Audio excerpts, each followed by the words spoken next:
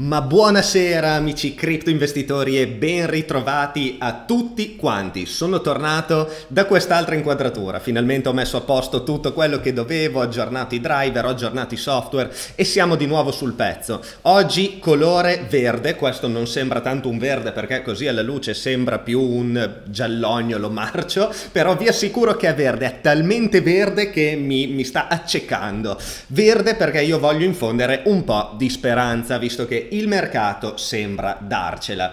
Con le ultime candele tra l'altro ieri, ieri e oggi sembra che di fatto quel ritracciamento che aveva un brutto aspetto che era iniziato la settimana scorsa stia un po' rallentando, per non dire terminando. Ecco, io non voglio essere troppo positivo perché è ancora presto per esserlo, però quantomeno stiamo notando che la domanda non si fa attendere. Quindi, che dire, gli esiti possibili adesso sono di vario tipo, quello più probabile, come vi ho anticipato su Telegram nell'analisi di oggi, è un periodo di lateralità. Non vi voglio però spoilerare l'analisi del grafico perché eh, mi spiacerebbe un po'. Allora, io vedo che non si vede la chat, non so per quale motivo, a schermo, cioè io la vedo, però secondo me voi non la state vedendo e chissà come mai, ogni tanto succedono sempre queste fantastiche cose, ma fa niente, io tanto la vedo, l'importante è quello. No, ora è comparsa,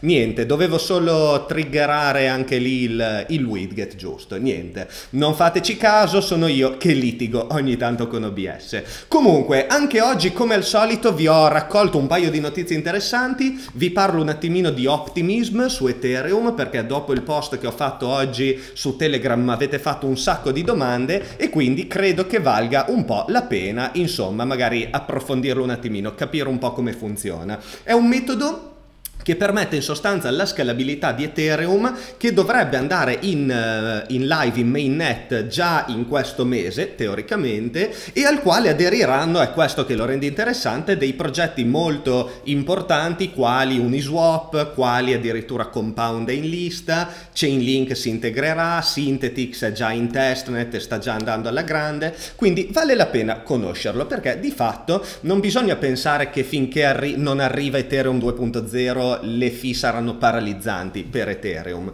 perché ovviamente ci sono un po' di, di progetti in atto finalizzati a non dover aspettare due anni per rendere Ethereum utilizzabile un po' da tutti, altrimenti la gente scappa. Infatti la prima notizia di oggi è proprio all'insegna della fuga, c'è un po' la fuga della DeFi da Ethereum, fuga no perché ovviamente non è che vanno via da Ethereum e vanno su altre chain, però come è giusto che sia, io lo trovo assolutamente corretto dal punto di vista vista dei progetti in sé, loro eh, vanno ovunque c'è liquidità, ok? Ultimamente la Binance Smart Chain si sta facendo valere parecchio per liquidità, se andiamo su DeFi Station, che è il DeFi Pulse della Binance Smart Chain, vediamo che di fatto c'è un trend molto molto rapido, ripido o meglio, eh, ascendente per la liquidità bloccata sulla BSC. Vedete, siamo già a 10 miliardi e il tutto si è mosso nel giro di un mese, eh, perché se guardate volte all'inizio di febbraio praticamente c'era mezzo miliardo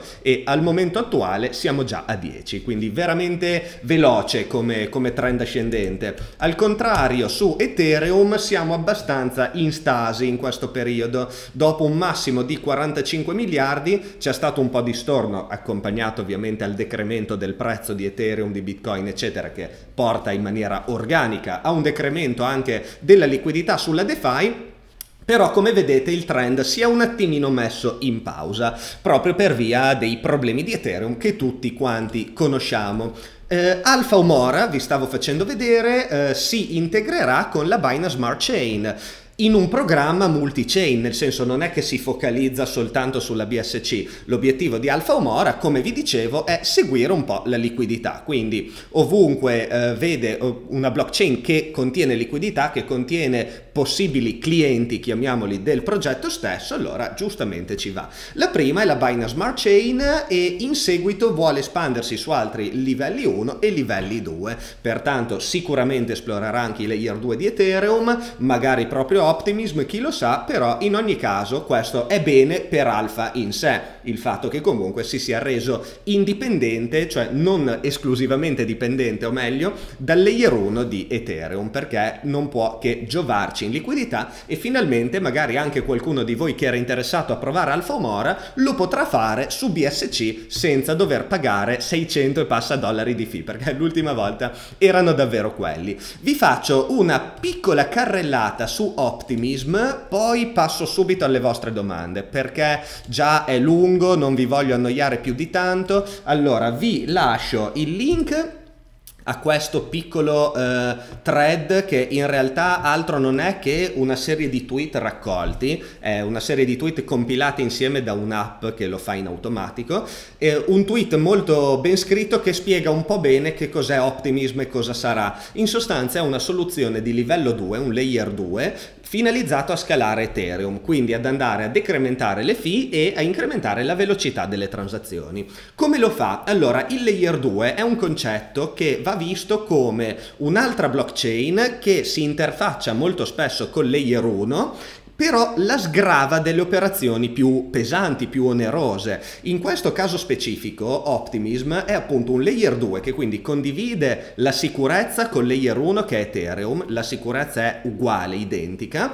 al contrario ad esempio di altri, eh, altre applicazioni che sono cosiddette sidechain only come ad esempio Matic, Polygon oppure XDAI che sono parallele a Ethereum hanno il loro algoritmo di consenso, la loro sicurezza propria. Invece Optimism si appoggia proprio proprio a Ethereum per quello. Quello che fa, detto in maniera estremamente semplice, come mostrato eh, in questa immagine, che purtroppo è sgranatissima, dentro Ethereum, il livello 1, ci sono questi roll-up contracts che sono dei pacchetti fatti apposta per, dalle applicazioni che si vorranno integrare con Optimism e in sostanza arriva la transazione in ingresso, come se niente fosse, come nella normalità. Il roll-up cosa fa? La va un po' a scomporre, nel senso lo smart contract viene eseguito sul layer 2, su Optimism, quindi tutte le operazioni eseguite lì sono a zero fee, istantanee, rapide perché non sono da confermare su Ethereum e poi l'output viene rimandato subito sul layer 1, ok? Quindi sul layer 1 ci sono semplicemente queste transazioni e non tutte le funzioni dello smart contract che vengono invece eseguite sul layer 2.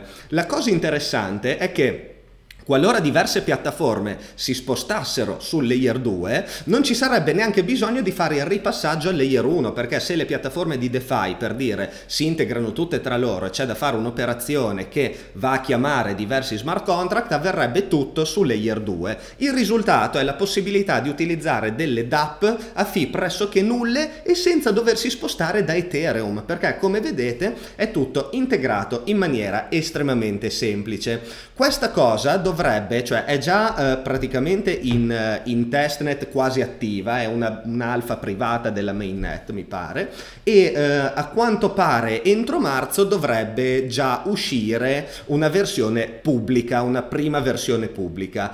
Poi qua in questo thread potete leggere tutti i dettagli tecnici, nel senso magari vi viene da chiedervi eh, ma come si fa a essere sicuri che sul layer 2 tutto funziona bene, c'è un meccanismo anche lì, un simil proof of stake, chiamiamolo, però non ve lo sto a spiegare perché non ne sarei neanche troppo in grado a dire la verità e poi è veramente tanto tecnico e non vi voglio annoiare eh, troppo. Vi dico qualche numero e qualche risultato perché come vi dicevo, ehm, come è scritto qua nella parte 20, lo stanno testando su Synthetic X che è già attivo su Optimism in, in privato, in una private eh, mainnet e su uh, un, um, una sorta di proof of concept di Uniswap che è un, un, esperimento, chiamiamolo, che aveva già fatto a novembre 2019, si chiama Unipig. E il gas cost si riduce di 100 volte, 143 volte su Synthetix e le transazioni vengono confermate in 200 millisecondi o meno, il che è un risultato decisamente incoraggiante perché una volta che sarà online e tutte le varie DApp o applicazioni DeFi si integreranno con esso, io credo che sarà un ottimo eh, catalizzatore per Ethereum per ritornare un po' meno insultato di quanto è adesso. Tra l'altro, sempre riguardo Ethereum, c'è in agenda il 5 di marzo prossimo, dopo domani, un, um, si chiama il Core Dev Meetings, Core Devs Meetings, in sostanza è un raduno, una call che è streamata poi in diretta anche su YouTube, la potete seguire, dove gli sviluppatori principali di Ethereum si trovano, discutono i topic del momento, in particolare in agenda ci sono alcuni EIP che vorrebbero essere implementati nell'hard fork London, che è l'aggiornamento che ci sarà a, eh, luglio, no, sì, a luglio mi pare, quest'estate, tra cui il famigerato IP1559. Quindi se magari il 5 marzo dicono bene, implementiamolo, è fatto, ci potrebbe essere un po' di turbolenza sul mercato di Ethereum. Basta, questo è tutto quello che vi volevo dire per, per oggi per quanto riguarda le notizie. Adesso io passo la parola a voi, via con le domande, vi voglio belli carichi e poi andiamo a dare un occhio come sempre ai grafici. Eh, Luke, che ne pensi di ACS? A Cryptos? Non lo conosco purtroppo, non te lo so dire. Um, Ciao Luca, buonasera. Eh? Che cripto usare per spostare i fondi tra un exchange e l'altro pagando poche fee?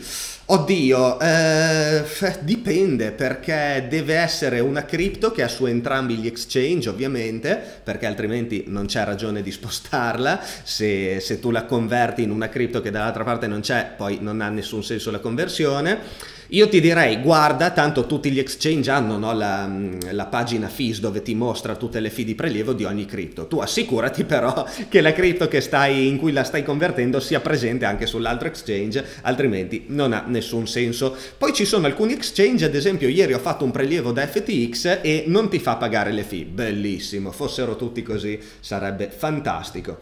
Uh, secondo me al posto di Luca esce Elon Musk, sì no, l'ho nascosto dentro il cassetto. Eh, ciao Luca, puoi dare uno sguardo ad Avalanche? Grazie mille, andiamoci a dare uno sguardo. Allora, tac. Allora, allora, allora, è lui, vero? Avax ha avuto un pump molto importante, oserei dire, però adesso ha formato la famigerata punta, sapete, quella che a me non piace. Tac, tac. Pertanto, più che punta, sembra una pinna di squalo questa. Pertanto, io finché eh, c'è una situazione del genere, il grafico mi, mi, spinge via, ecco, proprio non mi avvicina nemmeno un po'. Al fine di eh, renderlo di nuovo appetibile, Secondo me dovrebbe passare un po' di tempo, scaricare la fase decrescente e poi iniziare a vedersi della domanda. Quindi, esempio, se lateralizziamo ancora un po', facciamo un bel range e poi lo buchiamo a rialzo, bene, allora lì si può iniziare di nuovo a ragionare la costruzione di una posizione long, ma altrimenti per me è no, purtroppo. Procediamo. Uh, dunque, puoi analizzare il grafico di Bitcoin? Grazie. No, non lo guardiamo. no, scherzo. Ovviamente lo guardiamo, lo guardiamo verso uh, i due terzi del live. L'ultimo terzo del live, l'ultimo quarto d'ora, 20 minuti è dedicato proprio al grafico di Bitcoin e delle altre maggiori coin, le più interessanti. Ecco. Allora, allora, allora, uh, che ne pensi di Just Liquidity? Super popolare negli USA, appoggiata dalla BSC. Guarda, in realtà mh, mm, ho visto che sta spopolando abbastanza. Aspetta, Just Liquidity, è quella su Tron. Uh, volevo addirittura dedicarci un video perché effettivamente par- si parla solo di BSC come alternativa a Ethereum, ma non si parla mai di eh, tutte le altre. Adesso non so nemmeno come si usa, a dire la verità, exchange, forse swap, no, perché di fatto è un modello Uniswap, quindi liquidity pool, eccetera, eccetera, ma su ehm, Tron, quindi ha, tutte le logiche poi di Tron. Di fatto anche l'interfaccia è pressoché identica a quella di Uniswap, volevo solo vedere un po' di informazioni da condividere condividere con voi, quindi ad esempio quanta liquidità c'è, mi pareva che fosse sui 600 milioni, se non ricordo male, no, 74 milioni, così poco, ma allora mi sa che non era questo, eh? Eh, non lo so perché Forse ce ne sono anche altre su Tron. Io mi ricordo che l'altro giorno mi è capitata davanti una, una, piattaforma di un liquidity pool, una piattaforma di liquidity pool su Tron e ho detto caspita ma è andata così avanti Tron e ho detto boh potrebbe essere interessante esplorarlo perché anche quello è a zero fee di fatto come diversificazione. Allora, um, Quanto potranno durare queste APY sulla BSC? Guarda, finché eh, c'è FOMO, finché c'è nuovo capitale che entra e finché soprattutto i token legati al, um, al farming crescono. In quel caso lì sicuramente gli APY rimangono. Gli APY si inizieranno a contrarre quando inizia appunto la fase un po' eh, decrescente, perché è un po' organico, no? Nel senso, finché tutto cresce, tutto sale, gli APY sono alti, tutto si alimenta e rimangono comunque sostenibili. Quando Secondo esempio per PancakeSwap, se il token cake dovesse iniziare ad andare in downtrend e perdere pesantemente prezzo, gli APY si sgonfierebbero subito. Non so se ad esempio ci avete fatto caso, il giorno del dump di Bitcoin, che eh, non ricordo più che giorno era, ma non tanto tempo fa, eh, 22-23 febbraio, gli APY si erano sgonfiati moltissimo su tutte le piattaforme. Non so se ci avete fatto caso, hanno subito un 10-15% di contrazione eh, media, quindi notevole. Bisogna stare attenti perché anche quelli ovviamente sono molto figli della FOMO che al momento c'è sui mercati.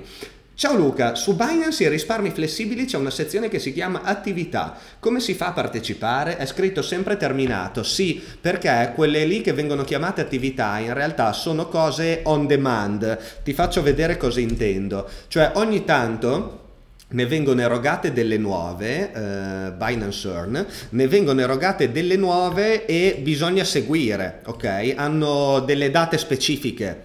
Adesso te le faccio vedere. Allora, esempio, questo qua, beh, questi sono già tutti terminati. RIF 21D, 20%, significa che era un deposito vincolato per 21 giorni che rendeva un 20% annualizzato sulla coin RIF e però aveva un limite, vedete, era cappato a 5 milioni di RIF. E quindi in sostanza è un primo arriva, primo servito, cioè quando esce la nuova attività si va fino a saturazione, poi basta, è chiusa e terminata terminati i giorni eh, di, di, di, durata poi del vincolo eh, si, si, va alle prossime, quindi ne escono in continuazione, vale la pena a volte starci dietro, spesso ci sono delle altcoin per non dire shitcoin, quindi rare volte capita di averne una veramente veramente interessante però non lo so potrebbe valer la pena seguire che ad esempio per chi detiene Errond potrebbe essere interessante quando esce e, e cose di questo tipo però vanno ahimè seguite è un po' richiede un po' di attività. Poi dove cercare lavoro stage formativi nel settore cripto senza troppe competenze tecniche? Guarda, ti direi dunque innanzitutto di contattare direttamente le aziende che secondo me lo, lo, apprezzano, cioè dipende un po' in che settore poi vuoi andare a lavorare, però gli exchange di solito hanno delle liste lunghissime di ricerca di candidati e forse sono un po' meno raggiungibili. Magari tu trovi la startup italiana che ti sembra interessante, la, l'azienda magari nata da poco, poco, non quelle fuffa ovviamente, gli puoi scrivere direttamente, magari sono interessate a collaborazioni. Poi non so se ci sono dei siti appositi dove ci sono, sono raggruppate le ricerche di lavoro prettamente nel settore cripto, sarebbe carino anche quello se ci fosse. Ciao Luca, avendo un capitale limitato vorrei sfruttare i ritracciamenti di Bitcoin in modo intelligente al fine di accumularne il più possibile. È sensato fare dei piccoli take profit ogni step da reinvestire poi in fase di ritracciamento o ci sono strategie migliori? Gli short hanno senso con piccoli capitali? Grazie mille. Allora, ti dico la verità, ehm, stai molto attento, nel senso non ottenere l'effetto opposto, perché è vero, tu hai dici ho poco capitale, magari posso rischiare un po' di più, però attenzione a non bruciarlo quel capitale, perché anche se ne hai poco tu tienitelo stretto, cioè non buttarti nel trading se non lo sai fare, questa è la cosa importante. Se non lo sai fare e ti interessa, comincia a studiartelo un po', esponendoti pochissimo alla volta, cioè non buttarti subito con tutto il tuo capitale o con una parte importante, comincia con una parte che tu dai per persa, perché il trading non è semplicemente dire bene adesso è salito vendo, quando scenderà ricompro, vedrai, cioè te ne accorgerai quando e se inizierai a farlo concretamente che è molto molto più complicato di così. E se lo approcci nella maniera sbagliata non c'è storia, i soldi li si perde. Quindi io raccomando assolutamente di approcciare il mondo del trading soltanto se A lo si sa fare, B si ha la voglia e la pazienza di iniziare a seguire un percorso che sarà difficile, sarà complicato e prevederà inizialmente delle perdite che fanno parte assolutamente del gioco. Ecco. Poi andiamo avanti, andiamo avanti. Uh, ah, e per riguardo gli short, sì, hanno assolutamente senso, a patto che li si sappia usare anche quelli. Secondo te un periodo in cui si possono aprire posizioni uh, long su altcoin? Allora, le altcoin possiamo andare a dare un'occhiata alla dominance. Guarda, in verità la dominance è sempre abbastanza piatta, quindi in questo periodo sì come no, nel senso non è che ci sia la, quella spinta no, che fa continuare a galoppare le alte come c'è stata in questo periodo. Al momento è un periodo di stasi, quindi sì se trovi una, ne trovi una o due che hanno dei setup interessanti, però senza esagerare, nel senso sicuramente non è un periodo in cui vale la pena essere sovraesposti alle alt, perché di fatto fatto se poi questa lateralità si risolve con una rottura a rialzo, le alt le vedremmo tracollare in maniera clamorosa. Quindi sarà questo che ci dirà se ci sarà un'altra alt season, se continuerà l'alt season, oppure se dobbiamo dire ciao ciao alle altcoin. Cercare di prevederlo è un rischio veramente alto, quindi mi raccomando, in questi periodi ci sta perché alcune altcoin di fatto hanno delle, dei setup, presentano dei setup interessanti, potrebbe valer la pena sfruttarli, però assolutamente senza dare per scontato che eh, le altcoin continueranno come, ad andare come, hanno, come, sono andate a gennaio, perché è stata una, una cosa abbastanza presa dalla FOMO. Tra università e il resto inizierò pure a studiare i tuoi corsi. Bravo! Studiare è la chiave vincente. Poi sono tutti gratuiti, quindi più di così che vuoi. Ciao Luca, pensi che l'esposizione al dollaro sia rischiosa in questo periodo? Tutte le piattaforme di rendimento passivo sono per lo più in stablecoin legate al dollaro, ahimè. Vero, verissimo purtroppo. Che dire, eh, io credo che, cioè io personalmente dove posso diversificare sull'euro lo faccio, ad esempio su Nexo, e mm, quindi direi che un po' vale la pena farlo, nel senso se si ha la possibilità di diversificare non, non, ci dovrebbero essere limiti, anche perché non ci sono fee su queste piattaforme, quindi secondo me una cosa che vale la pena fare è diversificare proprio nelle piattaforme stesse, mettendosi anche un po' su euro e un po' su dollaro. Poi dire che eh, il, ehm, l'andamento del dollaro andrà a prosciugare completamente il guadagno, non credo. Di certo non è un periodo d'oro per il dollaro, quindi quello sicuramente sì, eh, conviene sicuramente diversificare un po' sull'euro. Ciao Luca, grandissimo, cosa ne dici di Teta? Vuoi dare un occhio al grafico? Tra l'altro ho visto la notizia, se, se non è una fake news ma non credo, che eh, la Sony è entrata nei suoi validators, nei, nei, nei, block producer, non so neanche come si chiamano, però è entrata nel giro di Teta, ecco, che in effetti si pone poi nel settore entertainment. Il grafico è molto molto bello, guardiamo il settimanale.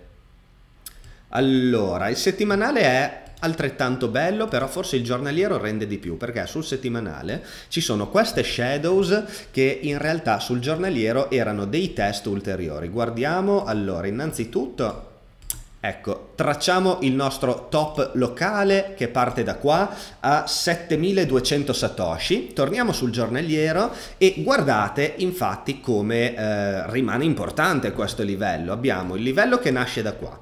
Test numero 1, test numero 2, test numero 3 e attenzione, questo sarà il breakout retest. Chi lo può mai sapere? Allora, è un po' presto per dirlo perché come vedete qua abbiamo avuto un uh, falso break da manuale.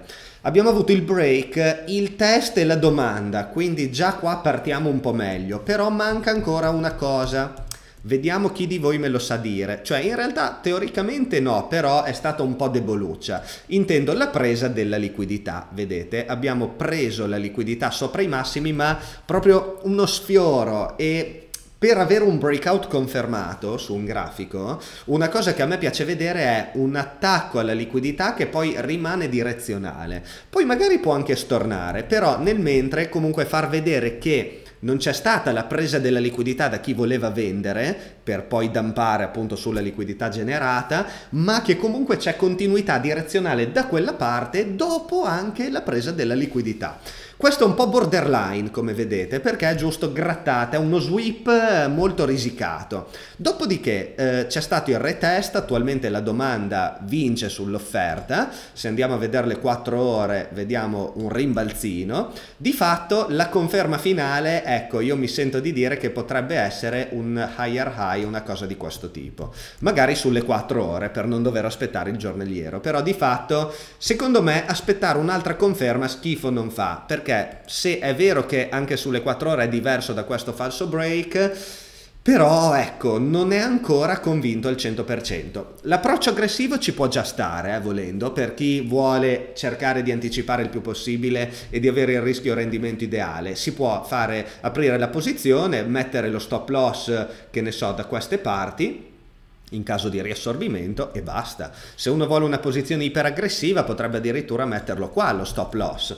Un po' rischioso, molto stretto, però dipende tutto dalla posizione che si vuole andare ad approcciare. Per un approccio invece più di, tra virgolette, lungo termine, passatemi il termine perché lungo poi no, ma nel senso uno swing trade potrebbe valer la pena attendere qualche confermina in più. Torniamo da voi. Allora, ciao Luca, guarderesti il grafico di PNT da buon holder prima di Edo, ora di PNT? Per ottenere i benefici attraverso lo staking guardo poco il prezzo, ma se sale è meglio. Il progetto a me piace e credo che il tema cross-chain sia importantissimo, assolutamente.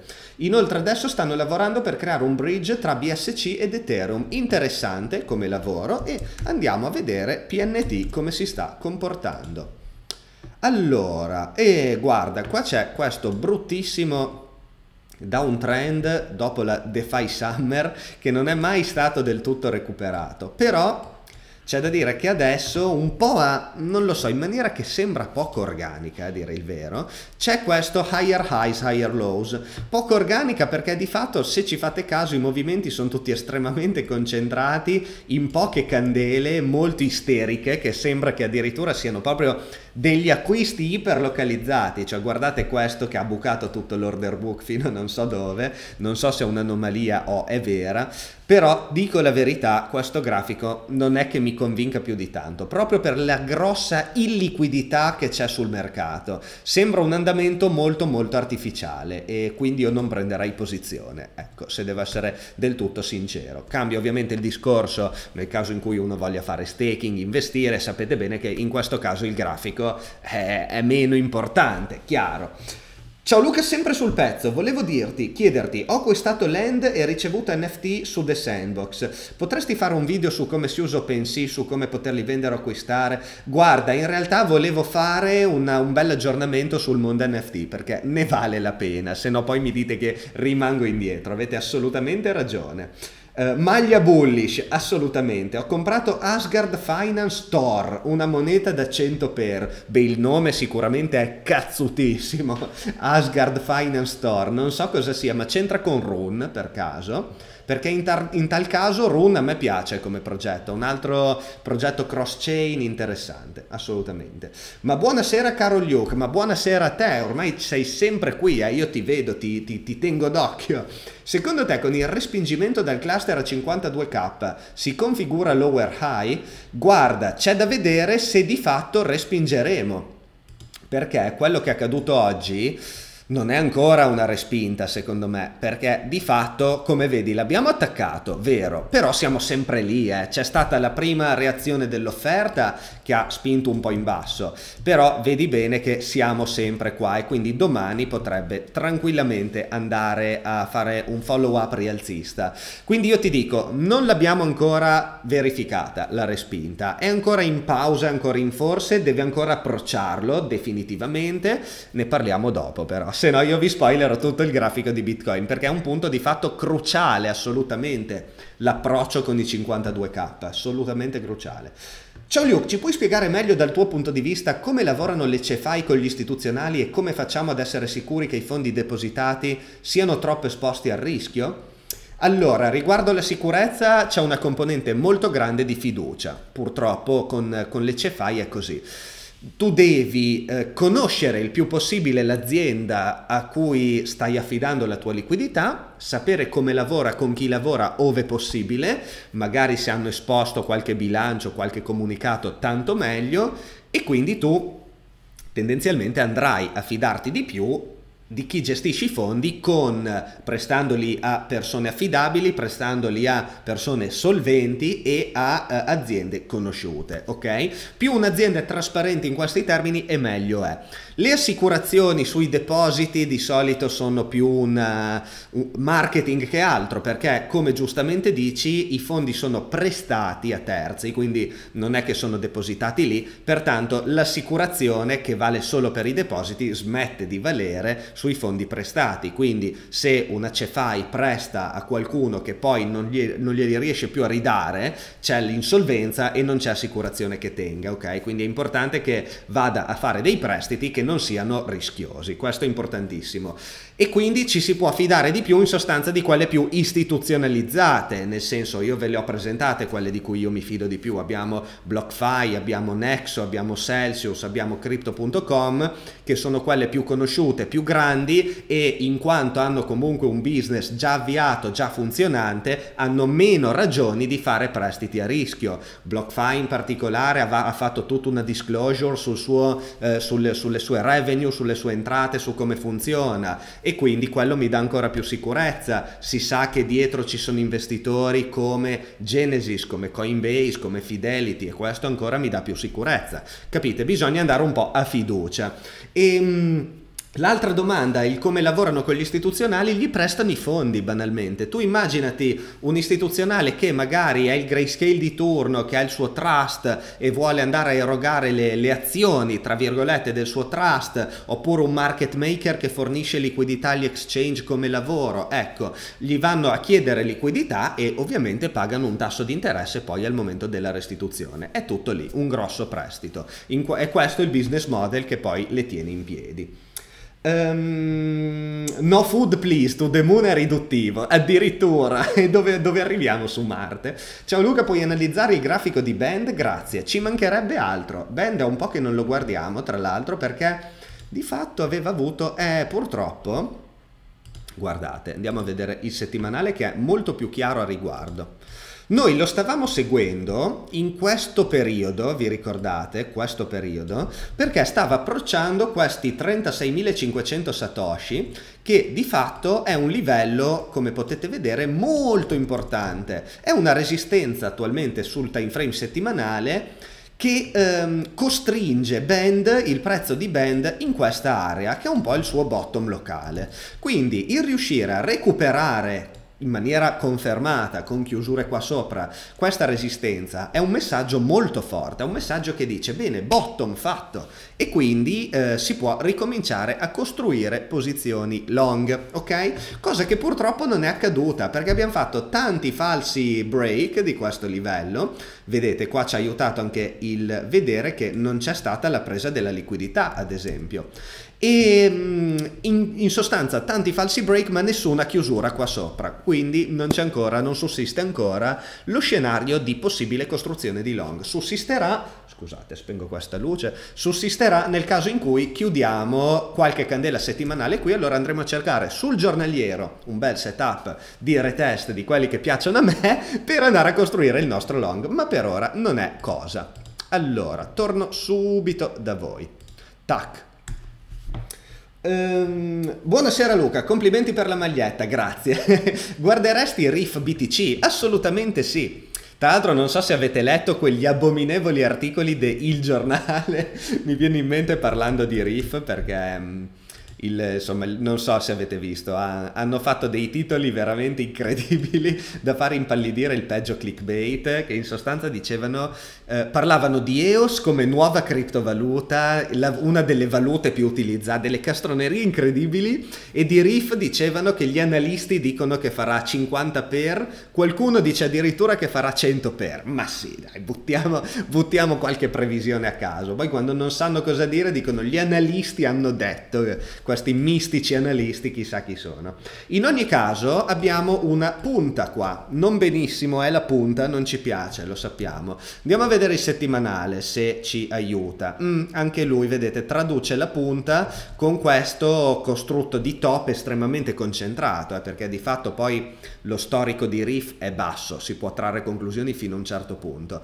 Eh, abbiamo questo, questo top molto forte con un assorbimento totale dell'ultima candela settimanale che non è affatto bello e poi infatti ha costretto un po' il mercato in lateralità, adesso è abbastanza indeciso. C'è un po' da capire. Innanzitutto si, da che parte si risolverà questa lateralità, se sopra o se sotto dove lo mettiamo? Lo mettiamo qui, direi. E in base a questo abbiamo un primo indicatore, ok? Se la lateralità si dovesse risolvere al rialzo, potrebbe esserci già volendo il setup long con magari un eventuale take profit in zona del top e attenzione nel caso in cui faccia un lower, un lower high, perché? vi mostro il caso. Se andiamo a fare a, a, rompere a rialzo, magari ritestiamo anche, però poi sale sale, poi bam, ok, va a fare un lower high rispetto al top, vuol dire che comunque c'è da guardare più dall'alto, più da lontano e si potrebbe, potrebbe essere in formazione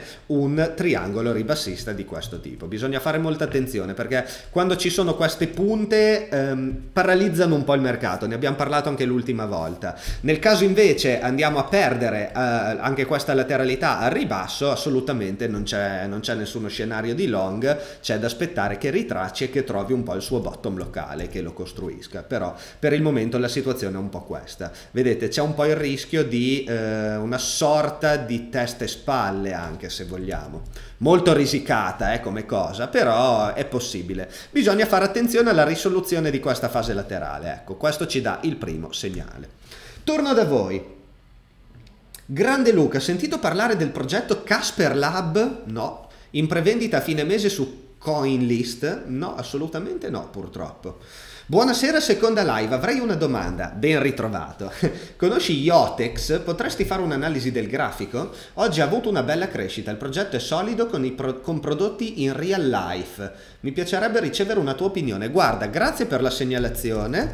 Io non lo conosco, purtroppo. Uh, Yotex Yotex Bitcoin, vediamo il grafico però, su questo ti posso dire la mia opinione. Partiamo dal settimanale, visto che è una novità anche per me.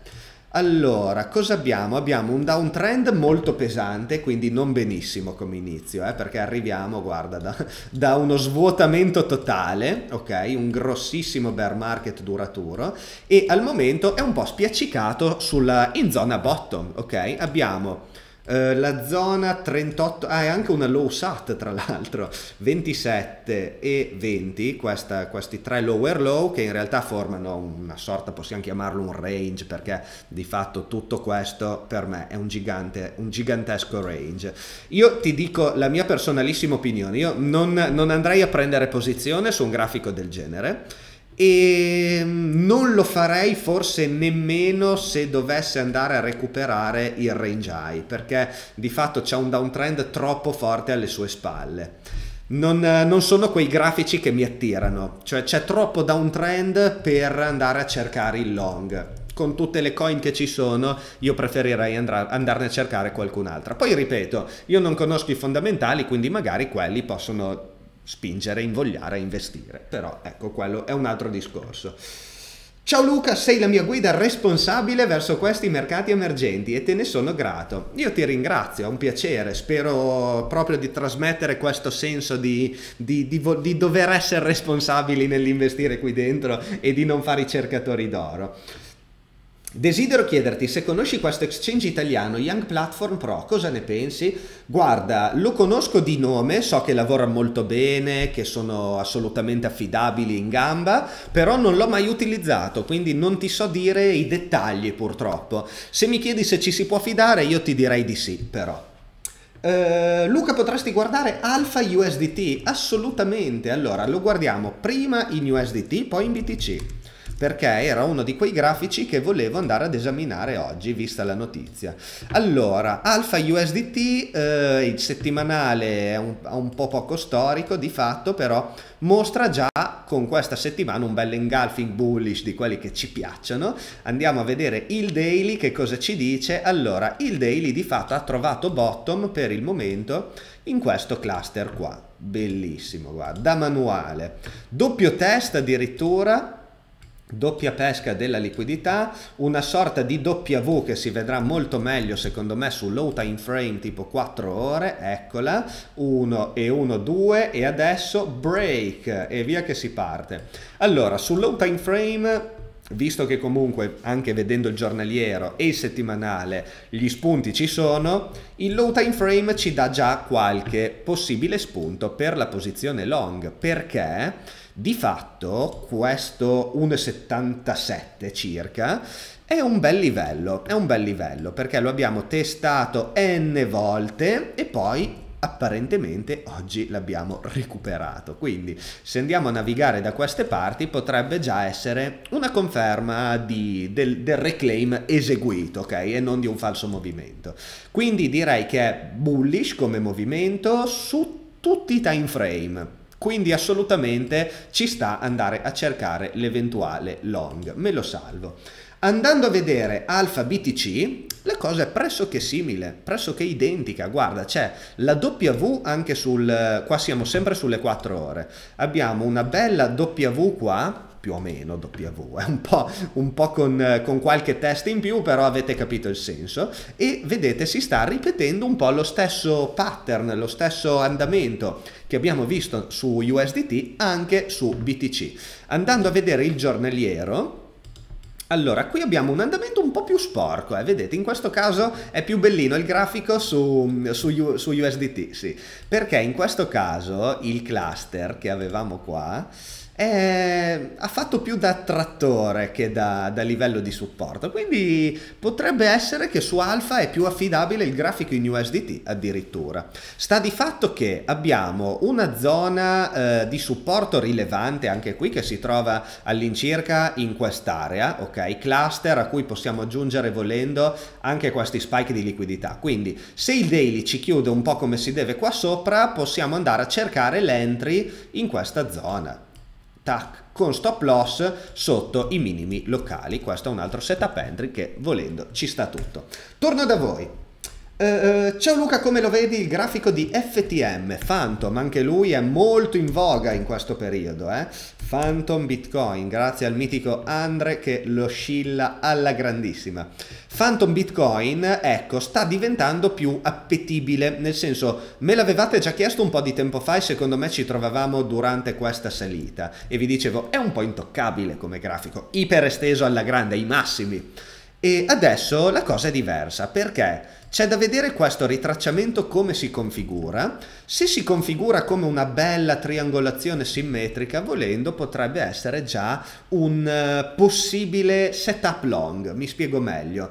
Se vediamo um, una discesa lenta verso la base inferiore del triangolo, si potrebbe andare a grattare qualche long speculativo nell'area appunto inferiore del triangolo, mettendo lo stop sotto il, um, il, il punto, lo swing low precedente, ok? Perché se viene violato questo swing low facendone uno più basso, non è più un triangolo e cambia completamente lo scenario, quindi ho sbagliato, in altre parole, ma se per permane la... Ehm, la possibilità di avere un pattern triangolare, ecco, potrebbe essere una bella accumulazione prima di un'eventuale altra leg up. Setup fortemente anticipatore, si può aspettare di cercare l'higher high che ci dà qualche possibilità in più di accumulazione di triangolo e di continuazione rialzista, anche lì dipende un po' dall'approccio, però non male come grafico.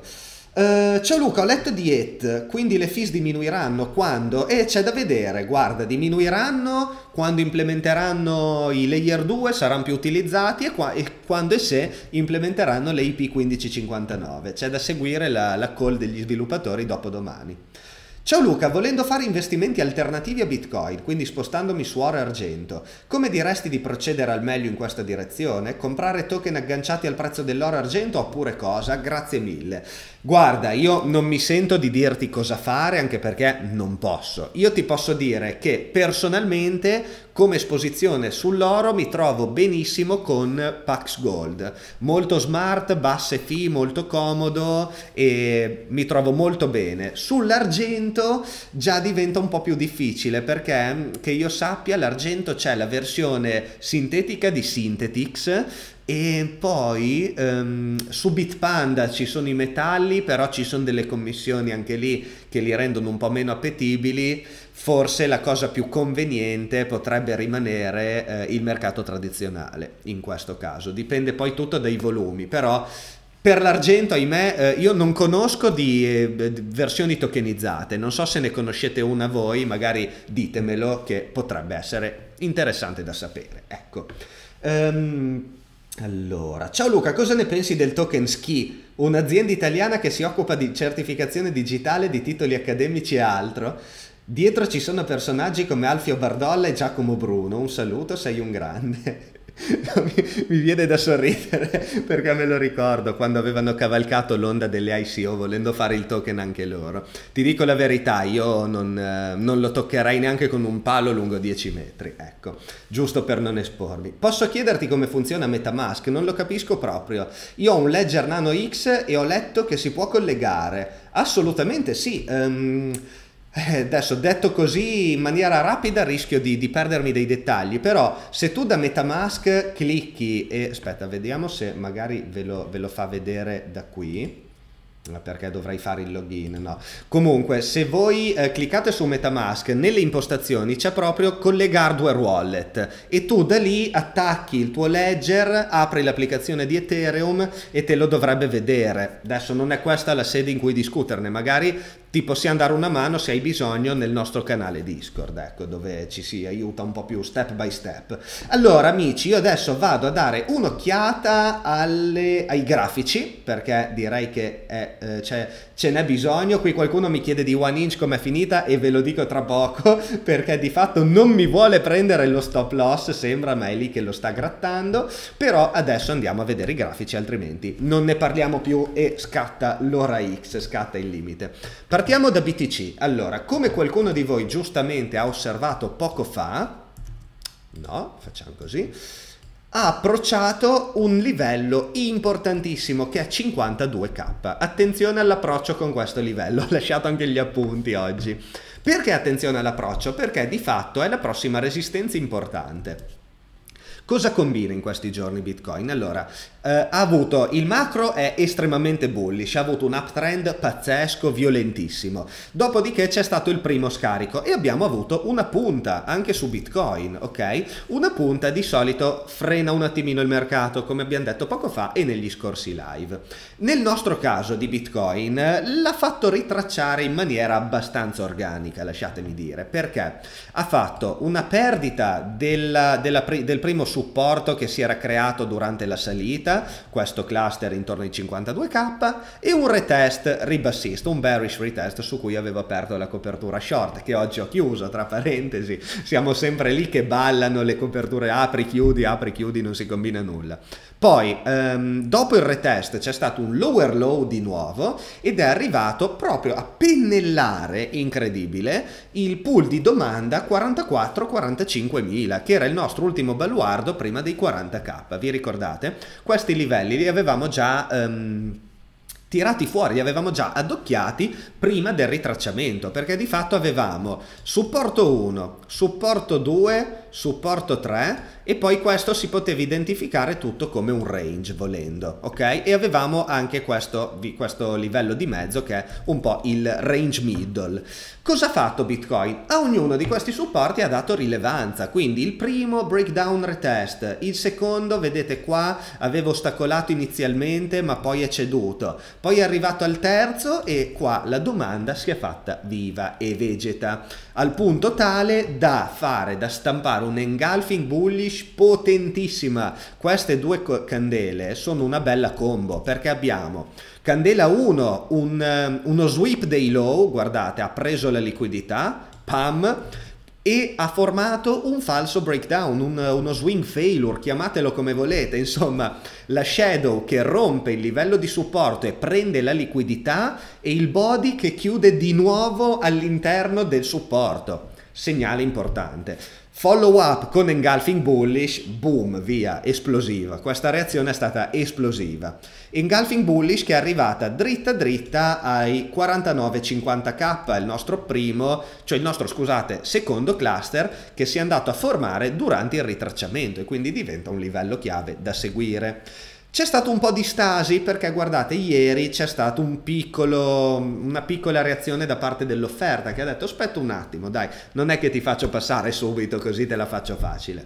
Però poi oggi c'è stato il follow up di domanda che ha vinto definitivamente quest'altro cluster. Quindi questo cluster è stato recuperato flip supporto teoricamente attendere chiusura giornaliera motivo per cui questo rettangolo è ancora rosso diventerà verde e flipperà definitivamente a supporto, lo dice la teoria, ecco, nel caso in cui chiudiamo la candela giornaliera sopra di esso. Penso che a questo punto sia abbastanza probabile, però mai dire mai che adesso arriva una, un sell-off violentissimo e ci fa chiudere in rosso, quello sarebbe uno scenario atroce e mi pentirei di aver chiuso la copertura short, quindi speriamo che non accada. Scherzi a parte, al momento abbiamo sopra di noi la grossa resistenza dei 52k il cui approccio è importantissimo. Per quale motivo? Perché se conquistiamo anche quella, è un altro segno che la domanda sta avendo la meglio, capite? È importante più che mai in queste situazioni dove ci troviamo di fatto in quello che potenzialmente potrebbe diventare uno scenario di lateralità con diverse sfaccettature, triangolare, un rage orizzontale, può diventare qualsiasi cosa. E dobbiamo un po' capire in questa fase laterale cercare di cogliere i segni di chi tra domanda e offerta ha il coltello dalla parte del manico. E come si fa a capirlo prima del break dal range stesso? Beh, una cosa di- la dice il macro, quindi il fatto che ci troviamo su un macro rialzista già fa capire che comunque il bias generale è quello rialzista. Poi all'interno del range bisogna vedere la direzionalità, quindi ad esempio questo costrutto che vi ho descritto prima fa vedere che qui la situazione ce l'ha in pugno la domanda domanda. Follow up anche oggi, situazione in pugno alla domanda. E se andiamo a recuperare pure questo cluster ancora di più. E capite bene che invoglia già cercare il long, anche qualora poi dovessimo fare un altro storno, cioè ci invoglia andare a costruire un long, una reazione di questo tipo. Al contrario, se ipotizziamo questa cosa, oggi chiudiamo eh, così, per esempio, domani stampiamo un engulfing bearish che arriva qua, capite bene che qua il gioco cambia perché abbiamo fatto un lower high, come giustamente accennava prima il nostro amico nei commenti, nella chat, confermato da un engulfing bearish, quindi offerta che si fa vedere più in basso ad un lower high. Questo invece è un segnale che è meglio aspettare ancora un attimino a costruire delle posizioni long. Perché? Perché non sappiamo adesso come si svilupperà questo andamento. Se si dovesse sviluppare a triangolo simmetrico con parità tra domanda e offerta diventa interessante volendo anche per costruire un long. Se si dovesse andare a costruire, esempio, un range da queste parti con engulfing bullish e offerta che scarica più lentamente, molto interessante costruire un long. Se si dovesse andare a formare una sorta di triangolo ribassista in questa maniera, molto meno interessante costruire un long. Penso che sarete d'accordo con me. Quindi non è un momento secondo me in cui conviene affrettarsi, è meglio prendersi del tempo, è meglio ragionare, riflettere, vedere quali saranno le prossime reazioni di Bitcoin e in base a quelle andare a pensare a come esporsi sul mercato. È sbagliato ragionare dicendo abbiamo ritracciato appena c'è una candela verde fiondarsi dentro se no perdo il treno. Rischiosissimo, dannosissimo, perché come abbiamo visto niente è ancora scritto. Bisogna tenere le antenne dritte, la guardia alta, seguire assolutamente il grafico e vedere che cosa ci combinerà nei prossimi giorni e in base a quello costruire una posizione senza fretta, perché in questo momento Può succedere eh, che adesso domani ti pianta una candela che arriva a 70.000, però secondo me probabilisticamente è, ripeto, più probabile, scusate la ripetizione, ma avere uno sviluppo laterale ancora per un po', poi staremo a vedere. Certo è, ripeto, se la domanda comincia a, a, scalciare forte e a riconquistare anche questo livello di resistenza, si inizia a ragionare anche da subito sulla costruzione del long. Ma è una cosa che adesso non possiamo prevedere, quindi la vedremo nei giorni seguenti. Tanto ormai noi siamo molto molto assidui. Poi vi faccio ridere con, tra l'altro ecco no, eh, sono sloggato da Prime XBT che fa ancora più ridere. Non so se avete seguito, la, se seguite il mio trading intraday, no? che sto condividendo un po' su Telegram, ho fatto un trading trading journal dove vado ad aprire e chiudere posizioni sul, sull'intraday per l'appunto e questo è il mio terzo trade, sì, perché i primi due sono andati bene per adesso. Questo era il terzo, l'ho missato clamorosamente perché avevo aperto la posizione, avevo messo l'entry qua sotto, qualcuno mi chiedeva come mai, allora io uso una logica semplice, la ripeto per l'ultima volta qui perché sennò poi se ogni volta lo ripeto giustamente vi annoio. La logica semplice, prendo l'high time frame che sono le 4 ore e il low time frame che sono i 30 minuti. Sull'high time frame guardo la struttura, sul low time frame guardo la price action. Quindi in questo caso high time frame, struttura com'è? Tendenzialmente bullish perché abbiamo avuto un bottom molto forte e una ripresa molto rapida. Quindi sul low time frame vado a cercare il long, ok? Ci trovavamo più o meno qui, ho detto bene, dove lo possiamo andare a cercare il long? Io ho trovato, volevo fare un buy the dip in sostanza, sui 30 minuti, il che vuol dire andare a prendere ehm, il, la prima dip possibile, andarla a prevedere, era un trade anticipatore perché ci trovavamo, ripeto ancora qui, trovate il post su Telegram che lo descrive. Quindi, come si fa ad anticipare un dip? Allora, io ho visto questa candela qua lunga, ok? Che è una candela comunque associata a volumi importanti, quindi con tanti acquisti. Dopodiché si è un po' rallentata la situazione, guardate la candela dopo è un po' titubante. Quindi cosa ho detto? Bene, Qui è un po' dove si è esaurito il, la prima ondata di acquisti e c'è stato un attimino di riassestamento. Ergo qua c'è un po' di liquidità, ok? E quindi ho detto entri qua proprio sotto perché io mi aspetto che si vada un po' a cercare no, quella liquidità lì, di triggerarla in qualche modo. E ho messo l'entry eh, qui, 50.000, adesso non ricordo esattamente qua, se andate a vedere il trading journal trovate proprio l'entry esatto. Take profit l'avevo messo qua perché c'era la prima candelina di cluster, stop loss a caso in verità, cioè sotto a questo high ma senza una particolare logica, molto stretto, infatti esposizione R mezzi, non R, perché è una posizione molto anticipatrice, molto rischiosa. Indovinate cosa è successo? Allora qui si vede che l'ha missata, ma se voi andate a vedere su Prime XBT, che è dove ho aperto il trade, e andate a vedere, il mio entry era 50.457, credo, eh, c'è scritto sul journal, è arrivato tipo 3 dollari appena sopra, e poi è andata a take profit. E vabbè, che, so, che dire, succede. E adesso magari lo va a ritestare, non lo so, vediamo, però di fatto ho missato clamorosamente il mio entry. Allora adesso andiamo a vedere, uh, che succede? Che fai Bitcoin? Non è che mi fai va a finire sicuramente così. Io ho chiuso la copertura short e adesso vedrete che fa un falso breakout riassorbe e richiude qua sotto che mi tocca andare a riaprire lo short perché in questo caso cioè se facciamo la chiusura bearish qua sotto è ancora da copertura short di fatto è ancora da, da non entrare. Eh, vediamo vediamo. Lo so che andrà a finire così eh, la, la, fortuna è sempre dalla mia parte. Ethereum, adesso a parte gli scherzi, andiamo a vedere Ethereum.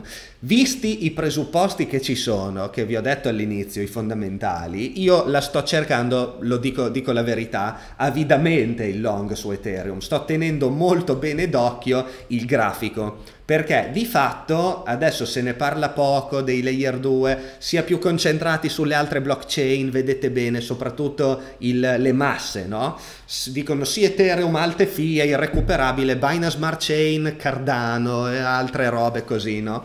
E quindi Ethereum è lì sottovalutata, quindi io sono avido di un long. Se il grafico mi dà l'opportunità, io lo apro. L'opportunità per me è la chiusura sopra gli 0.0335, ok? Quindi voglio un reclaim di questo livello. Se me lo fa, io vado a riaprire il mio long su Ethereum. One inch, che me lo state chiedendo, allora io ho lo stop loss, adesso vi faccio ridere perché vi avevo detto il riferimento per lo stop loss più stretto era 8254 circa. Io l'ho messo un po' sotto, era 8000, forse appena sotto gli 8000 per non fare la cifra tonda, in caso di chiusura, perché di fatto altrimenti se non fosse stato per la chiusura avrei dovuto tenere i picchi di liquidità, metterlo ancora più sotto, solo che poi abbiamo già un altro supporto e quindi aveva poco senso. Il discorso che avevamo fatto tempo fa, no? Quindi ho detto, sa, se inizia a chiudere qua sotto, facciamo che lo chiudo, chiudo chiudo la posizione in stop ed io sono entrato qua dentro, al momento è in perdita, è underwater, però non è ancora stoppata, io la tengo lì fin tanto che appunto, ripeto, non mi chiude una candela sotto gli 8000 sat. Vediamo che succede. Poi che altro, che altro, che altro? Non lo so, quasi quasi ripasso la parola a voi a questo punto. Abbiamo commentato un po' tutto, non so se avete altre domande da fare. Allora, vediamo un po'. Uh, sono sei ore che fa candele verdi, no, qui state parlando un po' tra di voi. Buonasera, ti, ti seguo fisso. Daresti un'occhiata a BNB euro, euro addirittura, mi, mi fai del male. Facciamo BNB dollaro, dai, passamelo passami BNB dollaro perché il mercato in euro è poco liquido. Ecco, BNB non benissimo, eh, a dire la verità, perché c'è questo... Allora, vedete, ha fatto una punta anche lui qua, tac, un top locale. E al momento ha trovato, ehm, sta, sta, facendo dei livelli abbastanza ben definiti, ha trovato 253, 230, 210 come supporti, 210 addirittura ha fatto un engulfing bullish che ha recuperato i 230 e ha di nuovo cozzato con i 253 poi c'è stato un po' di storno e così via. Quindi se andiamo a determinare che questo è un blocco eh, perso, quindi andiamo di nuovo a recuperare 253-260, allora volendo si potrebbe anche cercare il long verso i 295 e i 330 come eh, primi take profit. Altrimenti però non è da escludere la possibilità di ritracciare ulteriormente, perché di fatto ricordiamoci che ha esteso parecchio BNB, quindi c'è una certa componente di rischio da non trascurare assolutamente. Poi andiamo avanti, altre domande. Cosa ne pensi della Coinbase IPO? Eh, guarda, bella domanda questa. Nel senso, eh, non so cosa ci possa essere dietro perché ci sono molti istituzionali che hanno già le stocks di Coinbase che non vorrei che non stiano aspettando altro che dampare sui retail al momento dell'IPO. A me generalmente non piacciono le IPO così come le ICO perché in sostanza io voglio che sia il mercato apprezzare un bene, un'azione, un token, una cripto, qualsiasi cosa, non qualcun altro. Cioè se ti fanno l'IPO qualcuno fa il prezzo e se qualcuno fa il prezzo, non lo so perché, cioè perché devi deciderlo tu? Lascialo decidere al mercato. Quindi io preferisco aspettare che il mercato l'apprezzi ed eventualmente entrare più tardi, piuttosto mi perdo un, un eventuale pump, magari c'è il pump, però non deve essere una scommessa, dire entro nell'IPO così se pumpa bene. Non ha senso, ecco. E quindi io preferisco, ripeto, aspettare che sia il mercato apprezzarla. Bene, io con questo, visto che abbiamo raggiunto il nostro timestamp di un'ora, vi faccio un saluto, vi ringrazio di nuovo di avermi seguito per tutta la live anche oggi, vi ringrazio di aver partecipato con le vostre domande, mi raccomando non perdete di vista Bitcoin perché è lì che sta facendo un po' di capricci, eh? bisogna tenerlo buono perché dipende tutto da che cosa combini in questi giorni, potrebbe addirittura ricominciare a ritracciare e fare dei nuovi minimi se fa il cattivo oggi, domani e nei prossimi giorni, quindi non diamo mai niente per scontato e per certo finché non ne abbiamo tutte le prove. Di nuovo, grazie per avermi seguito, noi ci vediamo venerdì di nuovo live, sempre assolutamente sul pezzo, domani se riesco vi faccio un bel video sulla Binance Smart Chain, un bel tutorial dall'A alla Z, ve lo voglio fare bene a prova di nabbo proprio, vorrei, vorrei fare una cosa di questo tipo. Spero che vi interesserà, perché vedo che di fatto molti eh, stanno facendo un po', non lo so, mi sembra che ci stiano buttando i soldi a caso sulle DeFi BSC e quindi forse vale la pena fare un attimino di inquadramento sui rischi e sulla situazione. Bene ragazzi, di nuovo un caro saluto e alla prossima!